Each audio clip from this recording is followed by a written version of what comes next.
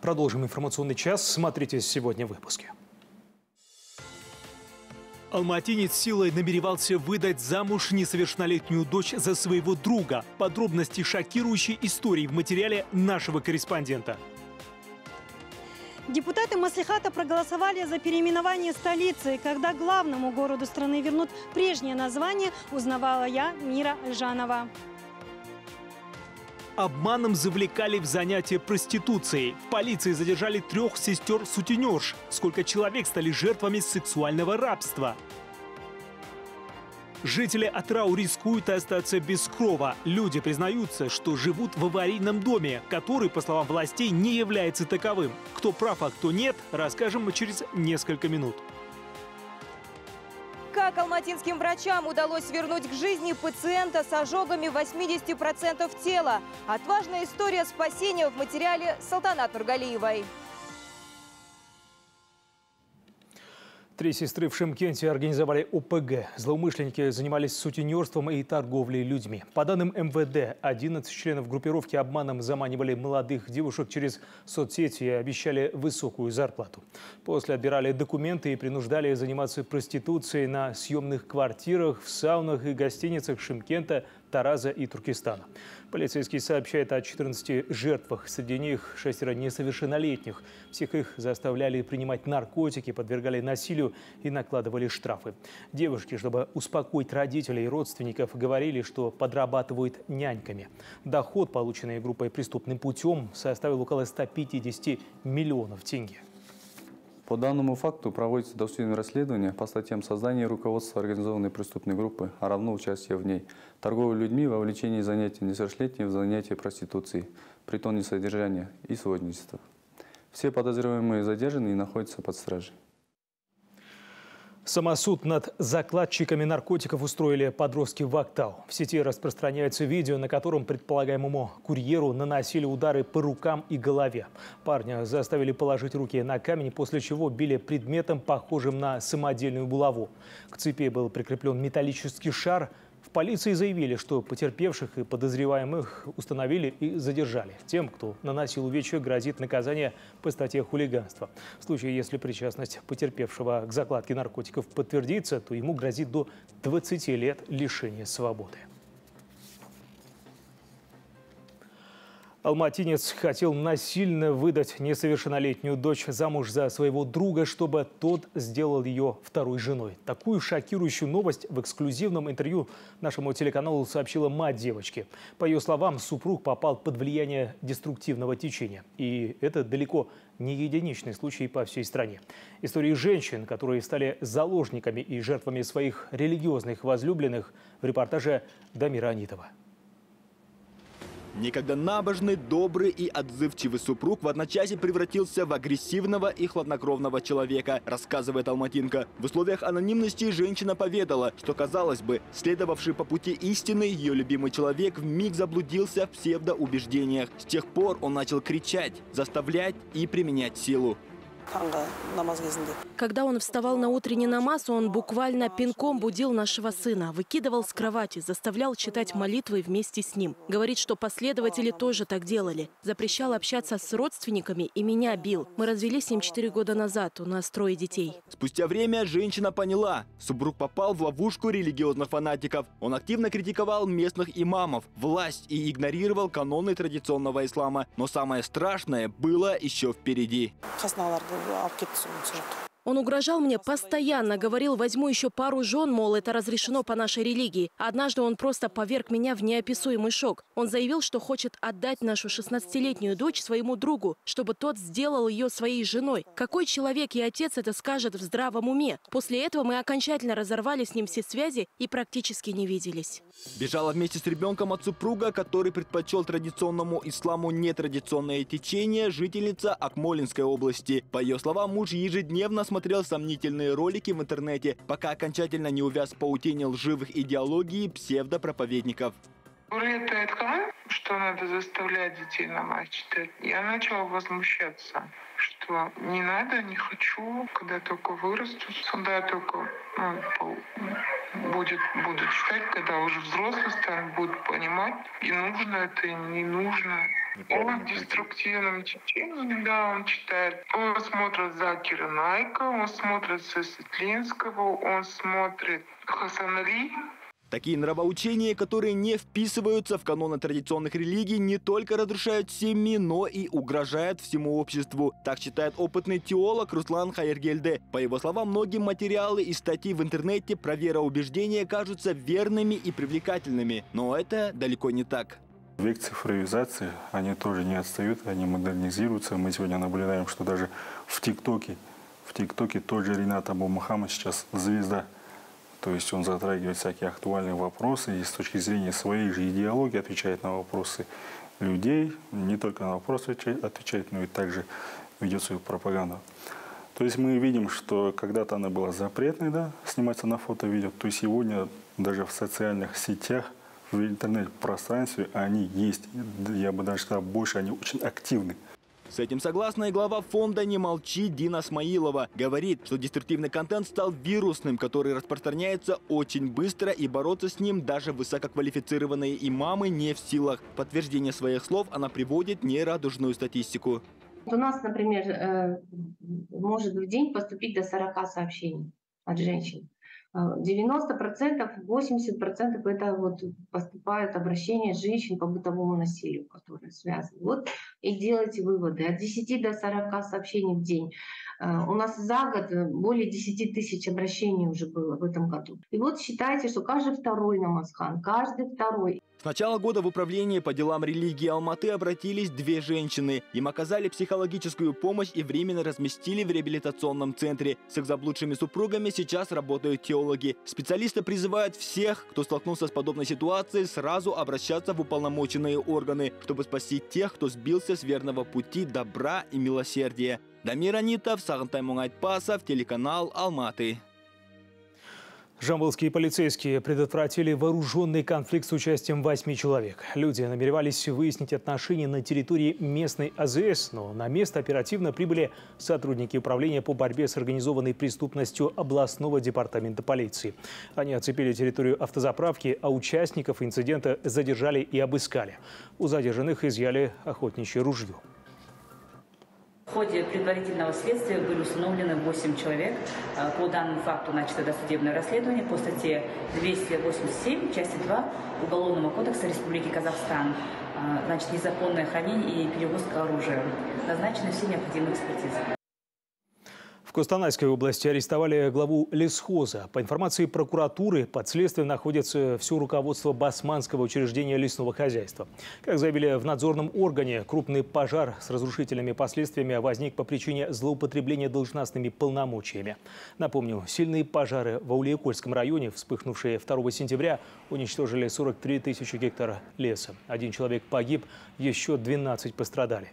Стихия уничтожила 91 дом.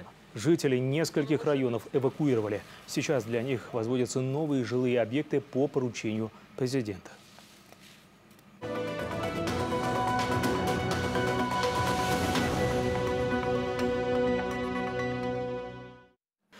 Депутаты Маслихата поддержали переименование главного города страны в Астану. Сегодня состоялись общественные слушания по вопросу возвращения прежнего названия столицы. Сама процедура состоит из нескольких этапов. Подробнее о них в материале нашего столичного корреспондента Мира Альжановой. Порядок переименования столицы состоит из нескольких этапов. Общественные слушания и вынесение вопроса на внеочередную сессию Маслихата. Это лишь одна из стадий целой процедуры. Поэтому и говорить о переименовании главного города страны еще рано. После наших заседаний принятие решения положительного либо отрицательного будут заседания в Республиканской аномастической комиссии. После этого документы будут направлены в правительство. Они внесут проект указа на подпись президенту. После официального выхода указа, в случае его подписания, можно будет говорить о полноценном переименовании столицы. Сегодня на общественных слушаниях присутствовали 25 депутатов из 31. И все они, как заявил Ирлан Каналимов, готовы принести извинения горожанам за свое решение в 2019-м. Именно тогда депутаты поддержали инициативу о переименовании столицы. Все-таки народное э, вот это как бы мнение, обращение э, все-таки э, то, что президент говорит, слышащее государство, дошло до власти, и, и я думаю, правильно поддержали, и правильное решение принимаем мы сейчас вместе с народом. Возвращаем название Астана. Решение переименовать столицу поддержали и сами жители. По их мнению, Астана – это уже состоявшийся и узнаваемый бренд. Я только за, за переименование. Ну, я сама родом с Астаны. И я считаю, что изначально какое название было. Астана же это бренд. И думаю, что этот бренд нужно поддерживать. Без вариантов Астана. Астана лучше звучит, и все привыкли. На изменение названий, вывесок, бланков и печати три года назад потратили около 30 миллионов тенге. По данным Гурмаслихата, в этом году сумма затрат будет намного меньше. Ведь сейчас все госорганы 100% перешли на цифровой формат документооборота. Мира Альжанова, Нурлан Тигенов, Ренат Утеев, телеканал МТН «Нурсултан». Прекратить конфликты и кровопролитие во всех уголках мира призвали религиозные деятели. В столице завершился седьмой съезд лидеров мировых и традиционных религий. Его участники подписали итоговую декларацию. В ней они обратились к главам правительств и международных организаций. Подписанты отметили, что экстремизм, радикализм, терроризм и другие формы насилия не имеют ничего общего с религией и должны отвергаться. Собравшиеся выступили в защиту прав женщин за повышение их социального статуса contribute to the rapprochement of peoples and societies Декларация будет распространена в качестве официального документа 77-й сессии Генеральной Ассамблеи ООН. Принципы, содержащиеся в ней, могут распространяться на всех региональных международных уровнях для учета во всех политических решениях, законодательных нормах, образовательных программах и СМИ во всех заинтересованных странах. Также в декларации отмечено, что участники, заинтересованные собраться в столице Казахстана в 2025 году на следующем съезде. Закрыл работу форума президент Касым-Жомарт Тукаев. Он выразил надежду, что духовные лидеры помогут преодолеть разногласия современного мира. Detailed declaration has been adopted at the conclusion of this Congress. У всех нас одна цель – это установление гармонии цивилизации, укрепление мира и стабильности. Я убежден, что духовные лидеры могут и внесут свой вклад в преодоление разногласий и разночтений современного мира и достижение большего благополучия и благосостояния для всего человечества. Вы смотрите новости, далее в выпуске. Как алматинским врачам удалось вернуть к жизни пациента с ожогами 80% тела? Отважная история спасения в материале Салтанат Нургалиевой. Жители Атрау рискуют остаться без крова. Люди признаются, что живут в аварийном доме, который, по словам властей, не является таковым. Кто прав, а кто нет, расскажем мы через несколько минут. Продолжаем выпуск. Алматинские врачи чудом спасли пациента, получившего термический ожог 80% поверхности тела. Тяжелую травму мужчина получил во время строительства колодца. В четвертую городскую клиническую больницу его доставили в крайне тяжелом состоянии. Об истории спасения едва не закончившейся трагедии репортаж Салтанат Нургалиевой. После операции, реанимации и нескольких месяцев реабилитации 29-летний Нурсултан Садуакасов готовится к долгожданной выписке. Отойдя от того ужаса, мужчина говорит, он будто заново родился, не без помощи медиков. Приехал в село Узанагаш к своему брату, хотел помочь со строительством колодца. Работал с болгаркой, как вдруг искра попала на одежду, и огонь перекинулся по всему телу. Брат быстро начал тушить огонь на мне водой. Хочу выразить огромную благодарность всем врачам. Спасибо, что спасли мне жизнь и поставили на ноги.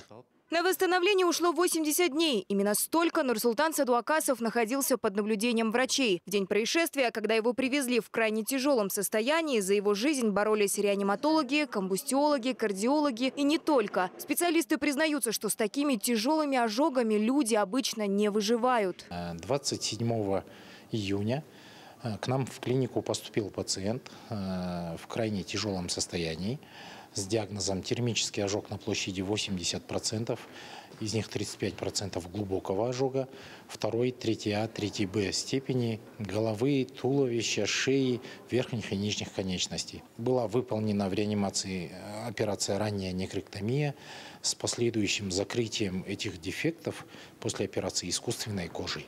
На этом лечение не заканчивается. Дальше пациента ждет длительная реабилитация и лечение ожоговых рубцов. Постепенно пересаженная кожа начнет заживать, заверяют медики.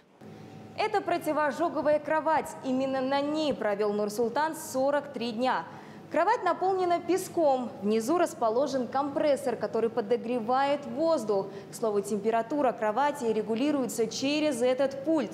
Пациент, будучи на данной кровати, находится словно в невесомости. На ней не образовываются пролежни и при этом подсушиваются ожоговые раны.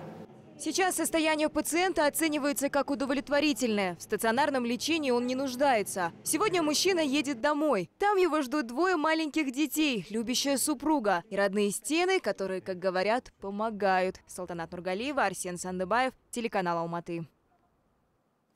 Жильцы одного из общежитий в Атырау требуют от местных властей снести объект. По их мнению, дом аварийный и оставаться в нем небезопасно.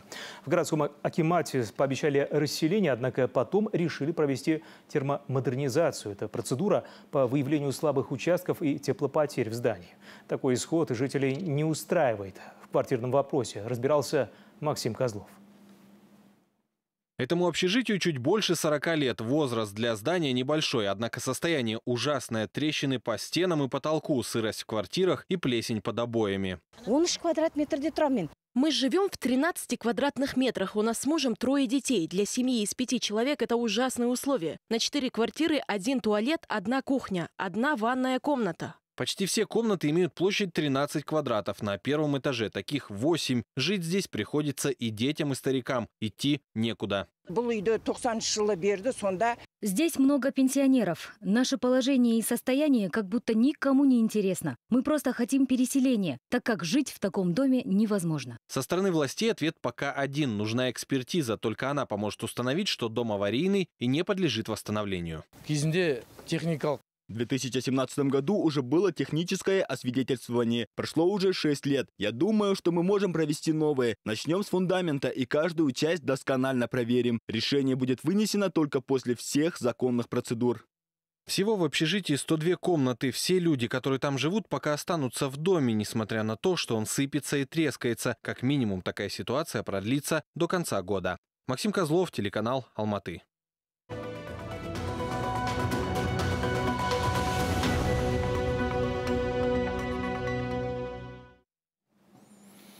Итоги весеннего призыва и вопросы организации осенней призывной кампании обсудили в Алматы. На сборах с участием заместителя Акима города, председателя призывной комиссии Аскара Амрина, представителей городского департамента по делам обороны и департамента организационно-мобилизационной работы Генштаба вооруженных сил страны была дана оценка проводимой работе комиссии.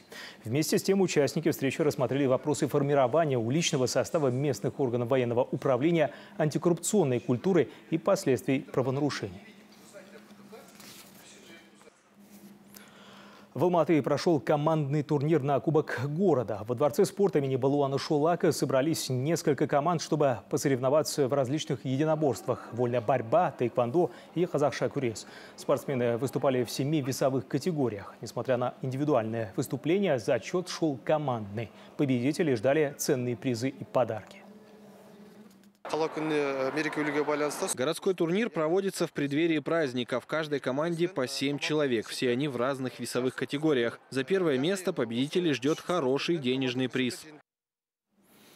Больше половины от общей численности мужского населения Казахстана имеют проблемы репродуктивной функции. Об этом стало известно на Республиканском конгрессе «Мужское здоровье» с участием ведущих специалистов страны. По словам экспертов, проблемы со здоровьем по мужской части может вызывать целый ряд факторов, в их числе экология, психология и, в частности, стресс. По данным ВОЗ, такая проблема сегодня актуальна для всего мира. На конгрессе лучшие отечественные урологи и андрологи поделились своим опытом лечения тех или иных мужских недугов недугов. К слову, доклады экспертов были сохранены для дальнейшего использования в качестве методических пособий для или справочников. Эталоном является, конечно, э, западные э, подходы, западная медицина, потому что тогда можно работать очень э, высокотехнологично. Но эти технологии уже пришли в Казахстан. И они бурно развиваются, но одни развиваются, вторая, другие развиваются. В Астане третья развивается в Алмате. И вот наша задача объединить их всех. Это был последний материал выпуска. Делиться интересными новостями вы можете, позвонив по редакционному номеру 275 20 48, а также отправлять смс-сообщения на наш WhatsApp 837 046 33 33. На этом все. Всего доброго. До встречи.